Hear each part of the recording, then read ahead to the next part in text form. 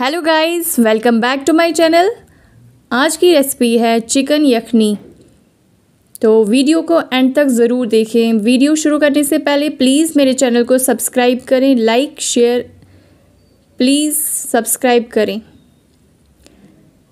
तो सबसे पहले मैंने लिया है गर मसाले, जिसमें धनिया, ज़ीरा, छोटी इलायची और दालचीनी है। इनको हमने बुन के पीस लेना है। फिर मैंने ली है दही। दही मैंने ली है टू के जी इसमें हम एक एग डालेंगे और उसको अच्छे से फेंटना है। आप चाहे तो ग्राइंडर में भी इसको अच्छे से फेंट सकते हो।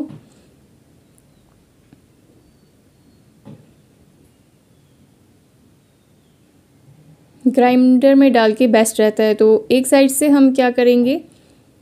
थोड़ा ऑयल लेंगे। और जो हमने मैरिनेट करने के लिए चिकन रखा था, वो फ्राई करेंगे। अब ये ऑयल अच्छे से गरम हो चुका है तो अब हम चिकन फ्राई कर लेते हैं।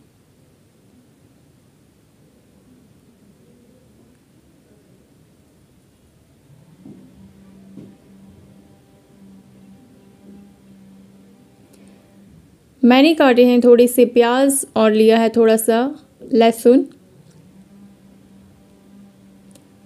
ये देखो, ग्राइंड, ग्राइंडर में मैंने इसको अच्छे से फेंट लिया है।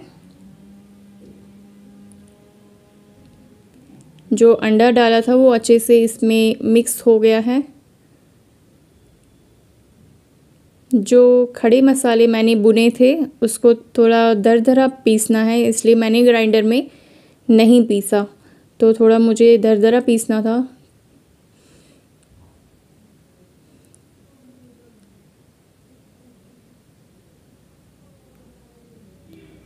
ये चिकन फ्राई हो रहा है। चिकन में मैंने फ़ूड कलर डाला था। आप चाहे तो इसे स्किप कर सकते हो फ़ूड कलर को, लेकिन मैंने डाल दिया था। उसके बाद हम दूसरे बर्तन में दही को डालेंगे।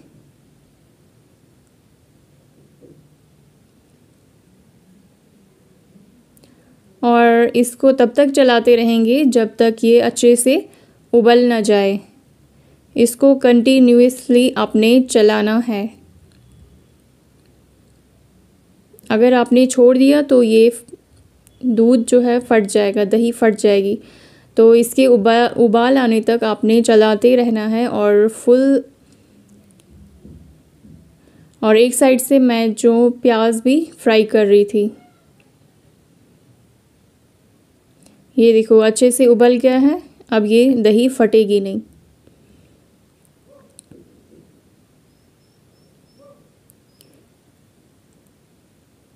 मेरी वीडियो में पता नहीं ये भाप कैसे आता है।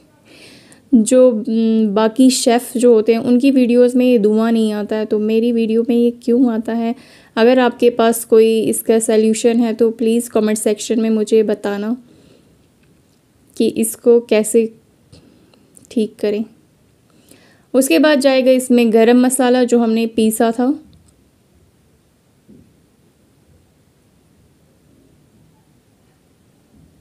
और इसको अच्छे से मिक्स करना है।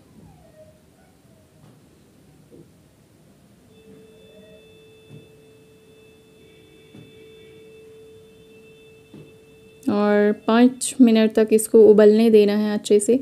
फिर हम लेंगे सूखी हुई कस्तूरी मेथी और थोड़ा सा पुदीना। वो हम अब इसमें डाल देंगे।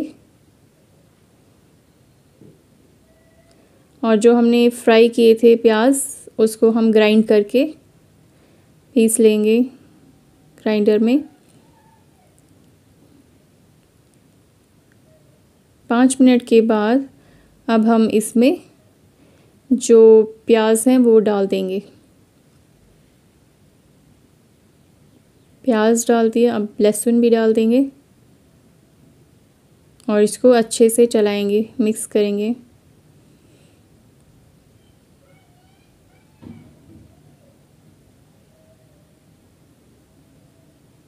पाँच मिनट चलाने के बाद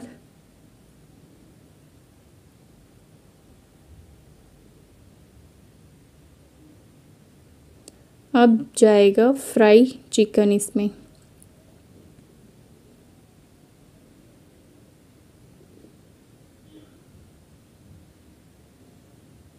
और इसको अच्छे से मिक्स करना है।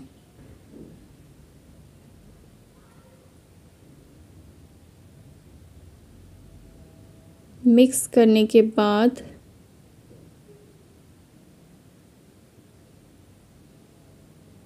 इसमें जाएगा थोड़ा सा ज़ीरा पाउडर और तेल जो हमने जिसमें चिकन फ्राई किया था, वो तेल जब ठंडा हो जाए तो आप इसमें दो चम्मच ऐड कर सकते हो।